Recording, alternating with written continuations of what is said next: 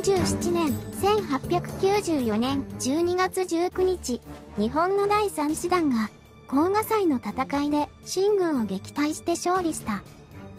勝利したとはいえ、第三師団の危機が去ったわけではなかった。第三師団司令部は、戦いを終えて会場に戻ると、すぐに海上防衛策の立案に入った。この頃第三師団が防衛していた拠点は、海上から安東県に至るまでの広範な地域に及び、平坦線が伸びきってしまっていた。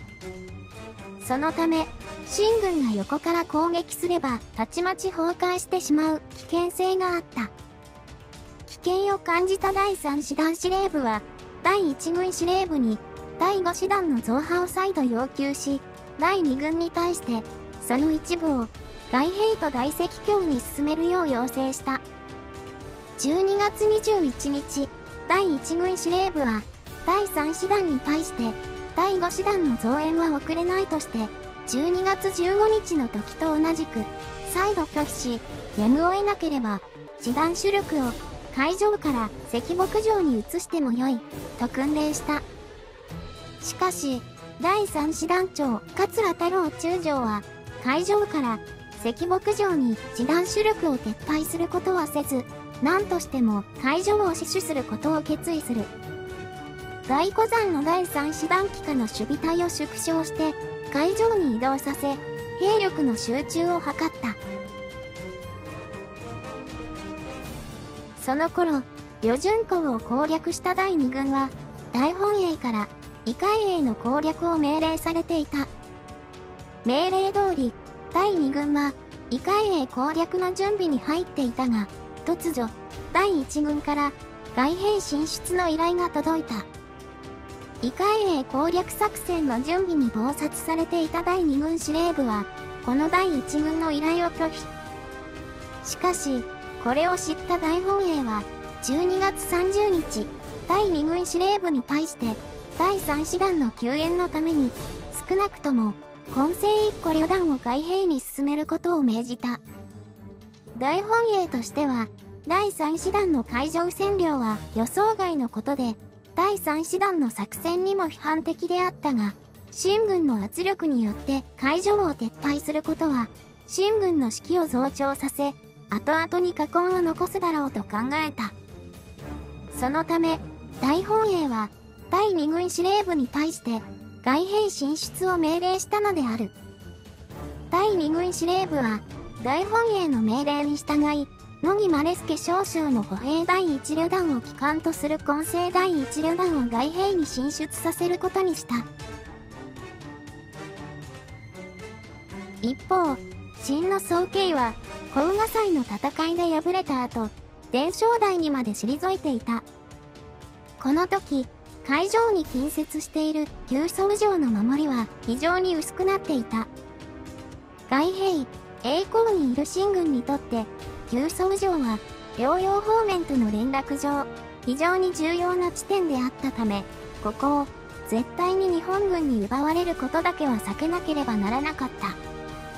李光省も、また、総計に対して、外兵、栄光、そして急走を死守するように訓令を出した。総計は、この訓令に従って、外兵にいた徐報道を牛走城に送り、兵力を増強することを決定。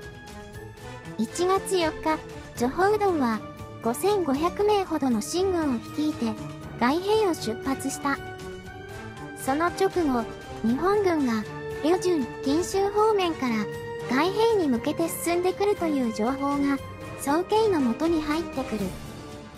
総計は、その情報を受けて、1月5日、行軍途中の徐報道を外兵に戻させた。しかし、総計は、外兵に戻る途中の徐報道を、自分がいる伝承台に来るように命令を変更した。この命令に従って、徐報道は伝承台に向かうが、1月7日、総計は、さらに命令を変更し、徐報道に外兵に急行するように命じた。結局、この総計の2点3点した命令が、秦軍にとって命取りとなる。命令が2点3点し、これに応じた徐報道は、北進と南進を繰り返したために、将兵は全員疲れ果ててしまい、来るべき日本軍との戦いにも間に合わなかったのである。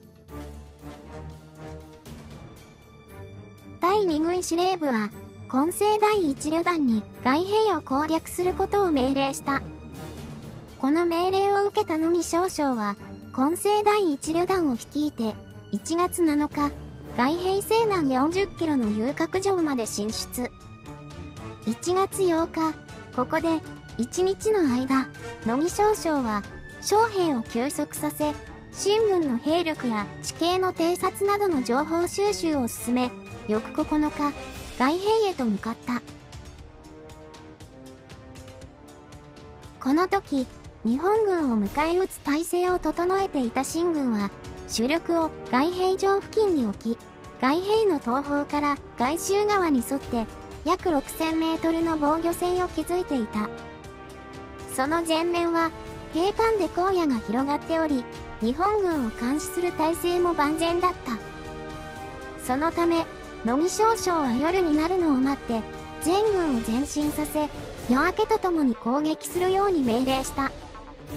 1月10日午前5時40分、混成第一旅団の主力が、東二大スから外平城へ前進を開始。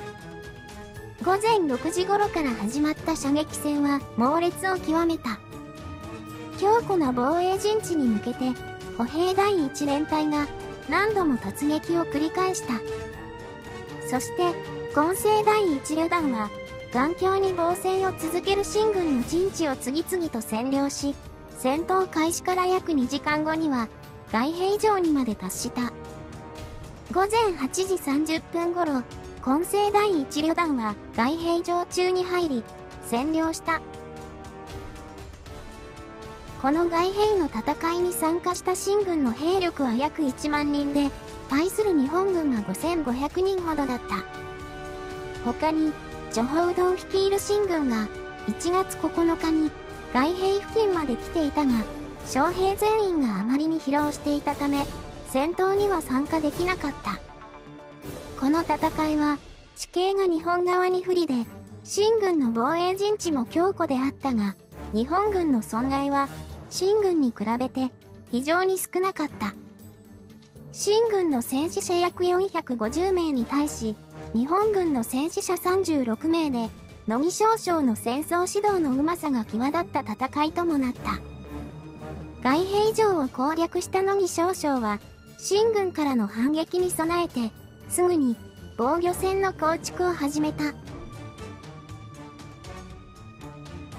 この戦いの前の12月下旬、新の黒竜江将軍、幾丹賀と吉林将軍、長順は、海上の奪回を目指して、両洋付近に兵力を集めていた。しかし、日本軍が外兵に向かってきていることがわかると、1月上旬、2万の兵を引き連れて救援に向かった。その途中の1月13日、幾丹賀と長順は外兵城が日本軍に占領されたことを知らされる。すると、幾丹賀と長順は外兵に向かうのを断念して、海上を攻撃することに切り替えた。1月13日夕刻、海上を守る第三師団長、桂太郎中将のもとに、新軍が海上に向かって行軍を開始した、という情報が入ってきた。さらに、石膏の情報から、新軍は海上の北方を迂回して、日本軍を包囲しようとしていることがわかる。桂中将は、海上の外に防衛線を構築し、7800人ほどで守備する体制をとった。1月17日朝、1万3000人ほどの新軍が、西から北へ包囲する形をとりながら、海上に向けて一斉に攻撃を仕掛けた。新軍の兵力は日本軍より優勢であったが、戦意が著しく欠けていた。そのため、動きは看板で、遠距離から重砲撃をしているだけだった。日本の砲兵4個中隊が砲撃をし、歩兵2個大隊が突撃すると、新軍の右側の部隊が崩壊。ついで、全軍が午後4時までに西北の方向に退却していった。日本軍は新軍を撃退したが、新軍は海上の攻略を諦めたわけではなかった。その5日後の1月22日、2万の新軍が再び来襲。今回の来襲は前回とは異なり、本格的に海上の奪還を目指して前回以上の兵力を新軍は投入してきたのである。対する日本軍は7300人ほどで、秦の大軍を迎撃することになった。日本軍は海上の外に出て、所定の防衛陣地で新軍を迎撃する体制をとった。午前9時から戦闘が始まったが、午後12時30分頃、待ち伏せていた日本の歩兵2個大隊と1個中隊が、新軍に猛者を加え、銃剣突撃をすると、新軍は混乱に陥り、退却していった。こうして、2回目の海上攻撃も新軍は失敗したのである。それでも、新軍は海上奪回を諦めず、3回目の海上攻撃を計画した。2回目の攻撃から約3週間後の2月16日、新軍1万6000が海上を襲った。これもまた、5800名の日本軍によって撃退された。同じ頃、新軍1000名が石牧場の攻略を目指して来襲したが、これも石牧場の日本軍守備兵900名に撃退されている。3回の海上攻撃に失敗した新軍は、その後、海上から遠くまでは退却せず、その周辺6キロ圏内に滞留して、4回目の海上攻略を試みようとした。2月21日、3回目の攻撃の時とほぼ同じくらいの1万8000ほどの兵力で海上を攻撃。この新軍の攻撃も日本軍はそれほどの労苦もなく撃退した。4回目の攻撃後、ジョホウドウの率いる新軍は海上の攻撃を諦めてこの地を去り太平山に向かって行軍途中の総計の霊下に帰っていった。こうして、日本軍は、新軍を寄せ付けず、完全に海上を守りきったのである。しかし、日本軍が占領した海上や外兵は、今後も、新軍の圧迫を受け続ける危険性がなおも存在していた。この事態を打開するために、領陽、急宗、栄光、伝承台などの要衝の地を攻略する必要があった。そのため、これから先、日本の第一軍が、両河平原の総統作戦に向かっていくことになるのである。